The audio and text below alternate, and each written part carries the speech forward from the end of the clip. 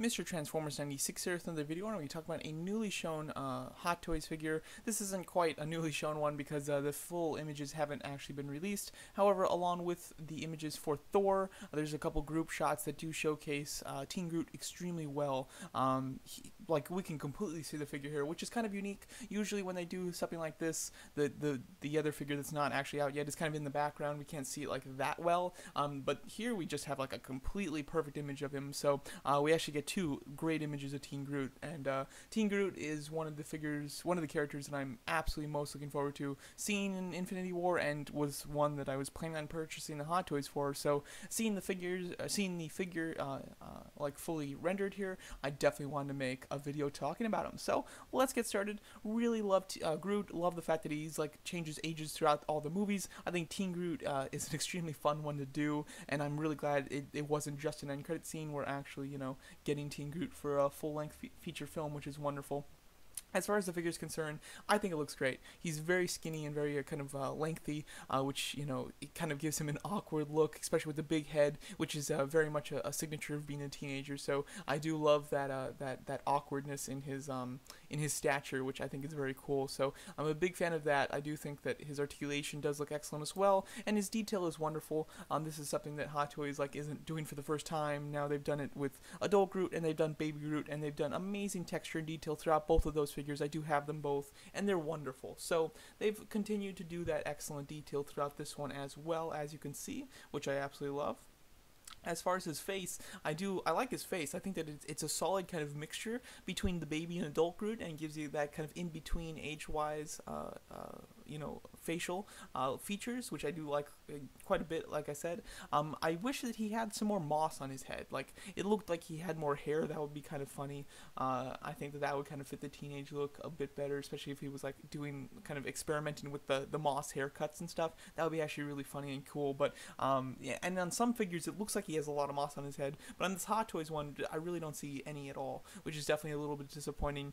Um, his expression, however, is on point. I love it. It's very simple, but it's just perfect. He's just kind of got this. Uh, it, the expression works in so many levels. Like he just looks like he's so annoyed, like he doesn't want to be there, um, but he's gonna kick some ass so that he can go back to playing games. You know that that's what he looks like. Uh, so I love it. I think that he he just looks excellent. I hope that he comes with a few expressions. Uh, so far, every Groot that's been released has had multiple expressions, even the potted Groot, adult Groot, and um, and Baby Groot have all come with at least two and sometimes three uh, different expressions. So I'm hoping that they continue that trend. If they don't, I will be disappointed. However, like this head sculpt is perfect, so I wouldn't be devastated, but I'd be a little disappointed. So I hope that we get some other ones, maybe some even more like fiercely annoyed ones. That would be really cool. Um, as far as his accessories, so far we can see that he comes with a large blaster. This looks like it's the same blaster that the pop figure has. I do. I actually I like the design of the blaster. I think it's very cool. It's very slick and uh, looks pretty perfect for him. I think it's safe to assume that he'll also come with uh, that kind of futuristic galactic phone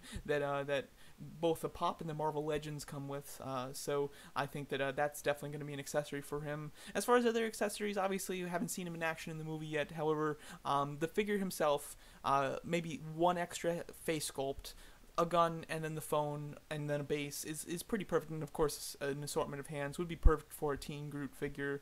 Pricing is definitely something I want to talk about, considering the Avengers Infinity War figures that have gone on pre order Thor and Iron Man have been priced extremely high and much higher than uh, Hot Toys' average rate for a figure of those caliber. And therefore, I'm a little worried that that's going to continue with some of the other figures, including Teen Groot. Um, so far, the last Groot's, the adult Groot was $200, teen, or Baby Groot was at 190 both both of which I think were a really good price. Uh, to be honest, I think that they were actually really nicely priced. Um, so, Teen Groot is the smallest of them all because even Baby Groot is is rather thick. Like Teen Groot here is very skinny and small. Um, so he is actually smaller than both adult and baby Groot, and therefore, logically speaking, he should be around like 170. However, I understand that they're kind of raising prices, and therefore, maybe he should hit the $200 mark. So, if he's over 200, I'm definitely going to be very disappointed and, and a bit angry at that uh, at that price point because he's much smaller than your other Groots, and 200 is still accounting for them raising prices. Uh, so I definitely don't want to see him anywhere near like 220. That would be ridiculous unless he comes with like some amazing huge accessories, which I you know is not going to happen. So I am expecting and uh, hoping for 190 to 200, and I will be disappointed if he breaks 200. I'll be very happy if he's 290 or less. So I, I would definitely uh, think that that's uh, I would definitely appreciate that. So we'll have to see. I'm very excited for this Teen Groot figure though assuming that he's not like a, a, ridiculous price that I just have to like make a stand about,